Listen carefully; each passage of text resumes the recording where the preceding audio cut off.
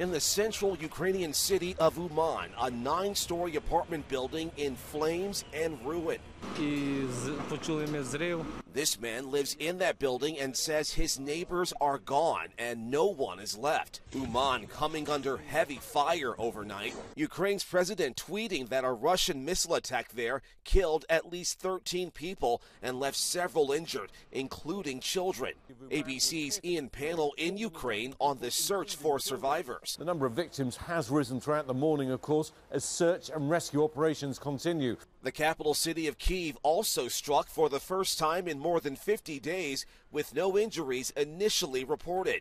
Ukraine's foreign minister blaming Russia for the wave of early morning air attacks that he says killed innocent Ukrainians in their sleep. Russia saying its strike targeted sites where Ukrainian military reserve units were staying before their deployment. Officials say Russia fired off more than 20 cruise missiles into Ukraine's airspace in the eastern city of Dnipro.